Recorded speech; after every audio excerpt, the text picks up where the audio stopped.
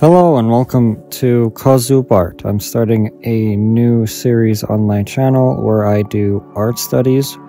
I'll have a photograph of my own on one side of the video and on the other side will be my actual study. So for this one I did a squirrel.